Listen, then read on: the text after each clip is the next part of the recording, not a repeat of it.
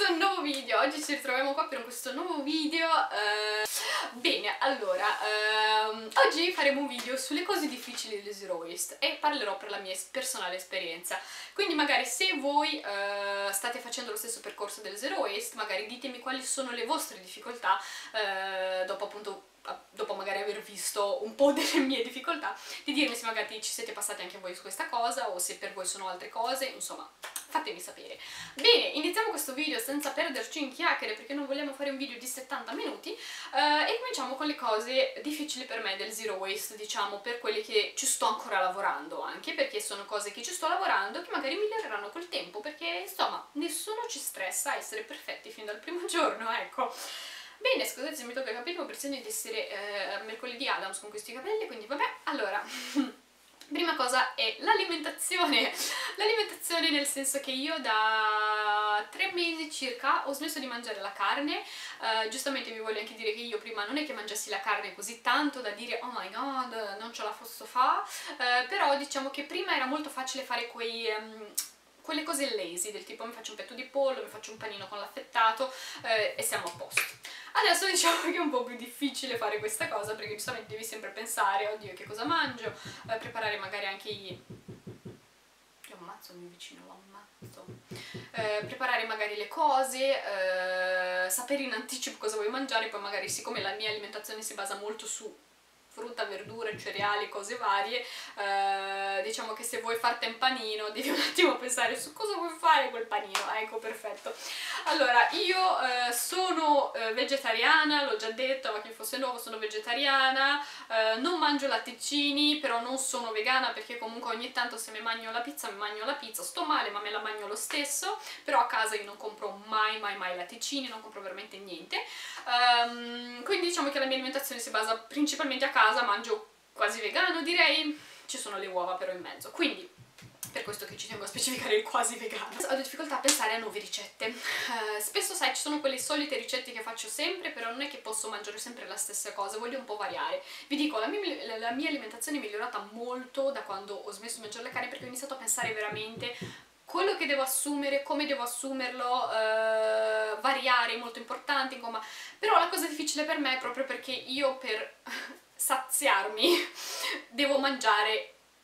abbastanza cose, nel senso se prima io con la carne mi saziavo perché magari quel petto di pollo mi bastava, adesso quando, quando, faccio tutte le cose di verdure, buonissimo tutto quanto, non mi sazio, la pasta mi sazia, il resto no. Quindi ogni tanto devo pensare un attimo come faccio per farmi saziare, per non aver fame e quindi questa cosa è più difficile al lavoro, perché ogni volta al lavoro se mette mangio sono sempre davanti al computer a lavoro e quindi ti viene voglia di sgranocchiare qualsiasi cosa e se non mi porto dietro almeno due snack al giorno eh, rischio di morire. no, vabbè. Quindi diciamo che questa è un po' la parte difficile, ma non è impossibile, ci sto lavorando, quindi non è così grave. Altra cosa quale volevo parlare è questo fatto di dover lavorare su me stessa verso gli altri, nel senso che eh, mentre con lui è stato facile perché lui mi ha sostenuto in tutto, in tutte le scelte che ho fatto, eh, se ho deciso di non mangiare carne, anche lui addirittura non mangia la carne a casa, eh, se ho deciso di non comprare più latticini a lui va bene, nel senso, insomma, lui mi ha sostenuto un po' tutto e cerca anche lui di fare il minimo spreco possibile, eh, anzi ci pensa anche lui tante volte, mentre eh, quando cerco magari di parlare ad amici spesso o vengo ignorata eh, o la gente dice sì sì vabbè ok ma non c'è frega un cazzo di niente, quindi diciamo che all'inizio questa cosa l'avevo presa male, del tipo che sembrava una deficiente, nel senso sembrava una scema che diceva do you want to talk about the environment? o cose simili, alla fine nessuno ti ascoltava, nessuno ti cagava, robe così, eh, e ho capito che non devo convincere nessuno a fare questa scelta di vita, non devo convincere nessuno che oh, non dovete andare da H&M, vuoi andare da H&M? Amen, vai da H&M, vuoi mangiare carne? Amen, vai da, da, vai da mangiare carne. Uh, diciamo che ho voluto rendere tante persone più coscienti, magari non ci sono riuscita, con alcune sono riuscita, nel senso ci sono addirittura vecchi compagni di università, o, eh, vecchi compagni di scuola proprio che mi scrivono, mi dicono guarda magari non, non, ti, non ti commento le cose, robe così, però sappi che seguo comunque i tuoi consigli al meglio, cerco di mettere in pratica queste cose. E a me questa cosa fa tanto piacere perché non voglio che la gente faccia tutte le scelte che sto facendo io perché io appunto eh, sto cercando di migliorare ogni aspetto della mia vita, non solo una parte, però io sarei anche felice se le persone facessero solo una parte, perché purtroppo in questa lotta, diciamo, per il pianeta eh, non serve essere perfetti, serve veramente metterci un pochino di impegno nelle cose veramente giornaliere, Quindi mentre all'inizio la prendevo quasi come un'offesa personale perché magari la gente non mi ascoltava o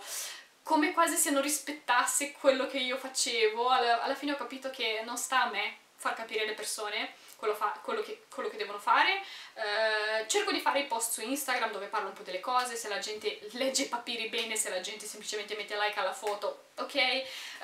quindi diciamo che eh, cerco diciamo, di far sentire la mia voce o tramite YouTube, che la gente che guarda i video, grazie mille perché li guardate, eh, ma quelli che non guardano i video... Ehm, nel senso, cioè, tanti dei miei amici non guardano i miei video, quindi capite che uh, non, poss non possono tipo prendere spunto delle cose che dico se non guardano i miei video e su un post di Instagram è molto facile mettere semplicemente like ma non leggere effettivamente la descrizione.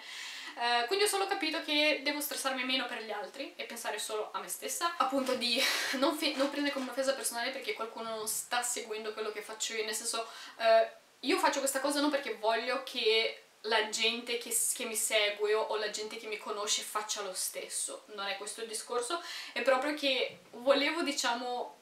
educare, mettiamo così, le persone sulle cose più importanti, eh, sulle cose un po' più, quelle che si possono cambiare tranquillamente, quelle che non ci vuole tanto sforzo. Poi ho capito che se la persona lo vuole fare lo farà, se non vuole farlo non lo farà e che io non sono Dio purtroppo e non posso far fare le persone dai, eh, comprati la bottiglietta, capite? Quindi ho deciso che anche questa è, è stata una parte negativa di questo percorso eh, perché sapete ogni tanto voglio anche parlare delle cose, del tipo oh mio dio ma lo sai, ho cambiato questa cosa, ne sono felice, oppure oh mio dio ho trovato un brand bellissimo di cose, oppure oh mio dio oggi sono entrata in un negozio e non ho comprato niente perché sono such better person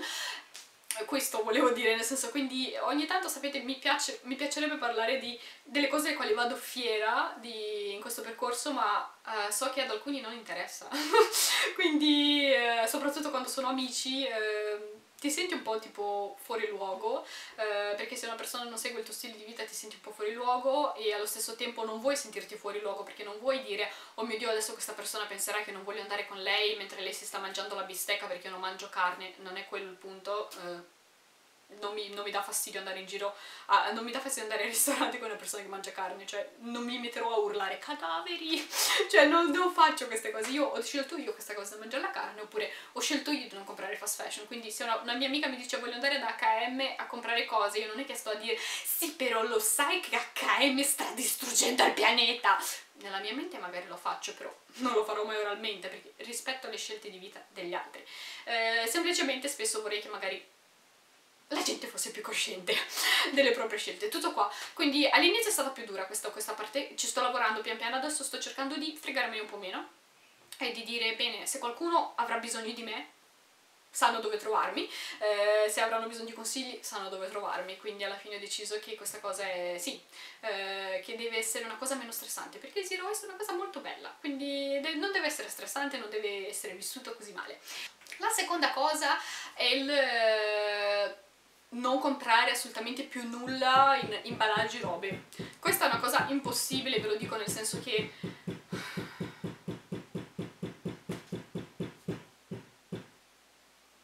Ancora? Sì? Ok. Questo ve lo dico perché giustamente...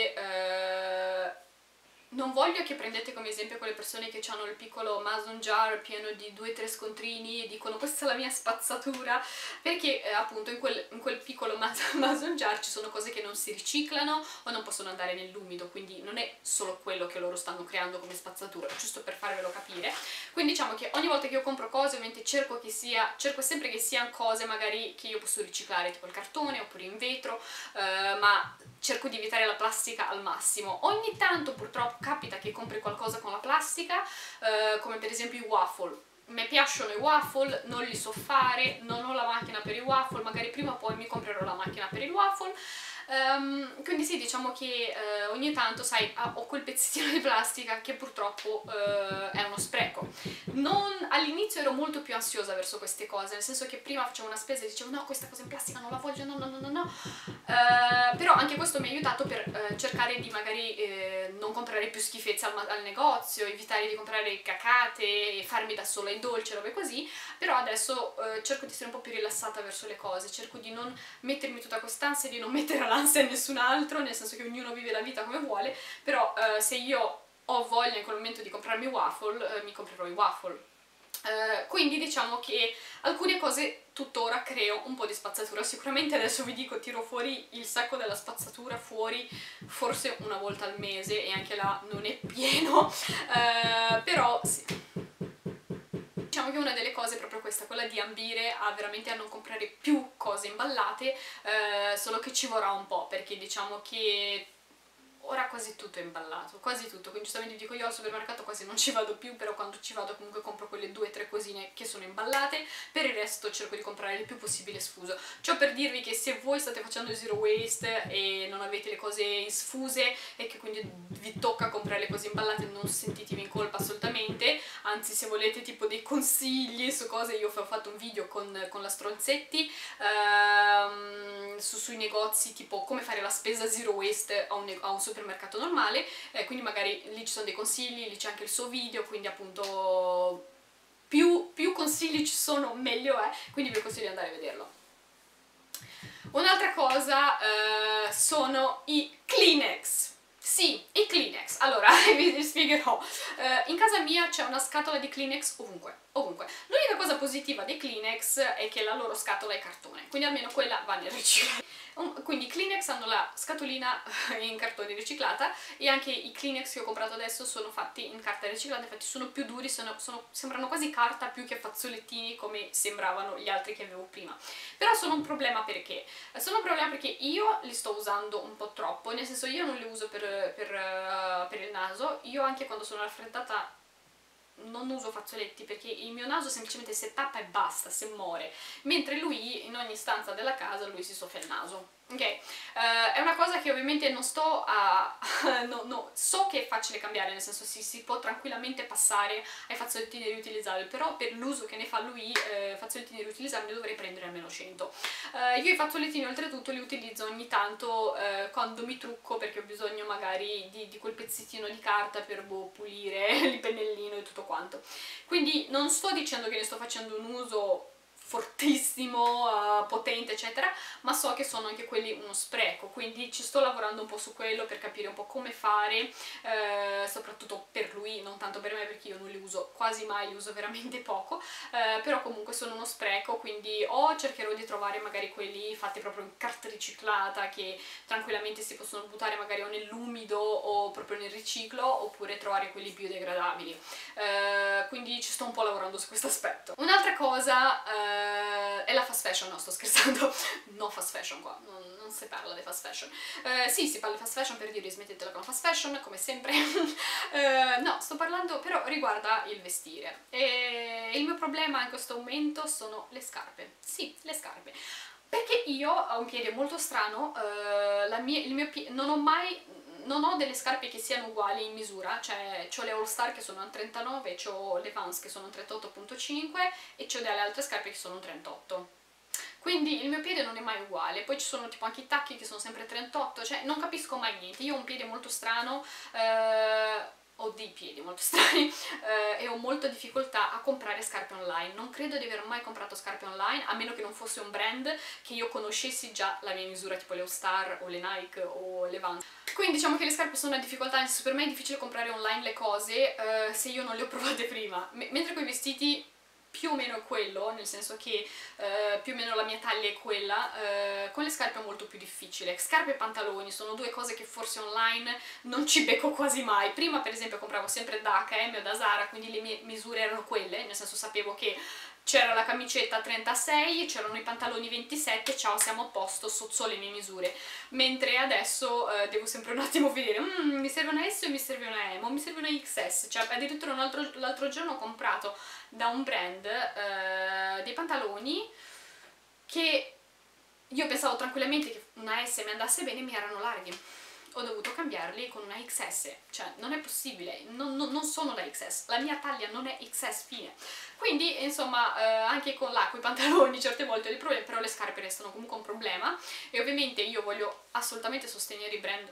sostenibili, uh, però spesso è difficile dire che ho il coraggio di comprare quelle scarpe quando non so magari se mi piaceranno, se saranno un buon fit, uh, se spediscono in Canada, vi dico spesso manco spediscono qua come se vivessimo boh, cioè, al capo del mondo. Beh, forse sì, che siamo del mondo. Um, quindi sì, diciamo che quello è un po' difficile per me, buttarmi a comprare cose nuove. Uh, un'altra cosa appunto, di direte, compra usato, ci rompe le palle con l'ho usato, vai a comprare l'usato. Sì, sono d'accordissimo. Uh, infatti sono riuscita a comprare un paio di scarpe usate uh, che erano un 38,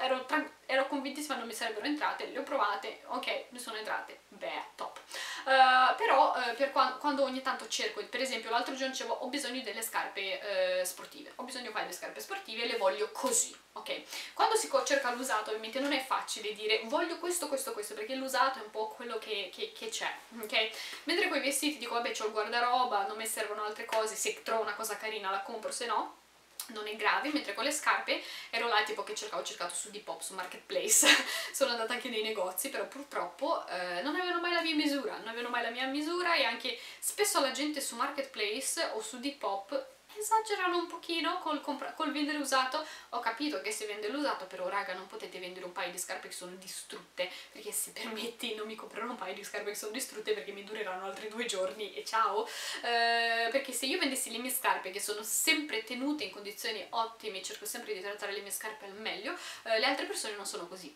Quindi anche questa è una parte difficile quindi magari ogni tanto eh, ci, ci, ci saranno quegli errori che farò nella vita come comprare delle scarpe di un brand che non sono proprio sostenibili disponibili solo perché non c'è di meglio, so che questa sembra una scusa patetica, ehm, che è una cosa che dico non, non è vero che non c'è mai di meglio, però proprio per le scarpe è una cosa tremenda, ci sto ancora lavorando, non sto dicendo che io adesso ho bisogno di 70.000 scarpe, però per esempio ho comprato le scarpe per il matrimonio eh, e dubito fosse di un brand sostenibile, era un negozio di per matrimonio, ho comprato le mie scarpe per il matrimonio perché